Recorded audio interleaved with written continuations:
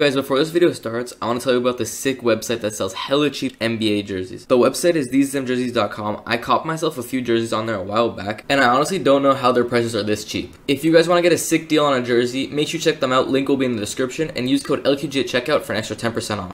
Coming from Tatum, able to get the block shot, and that's an area where Joel Embiid has really coming from Tatum, able to get the block shot, and well, that's an area where Joel Embiid has really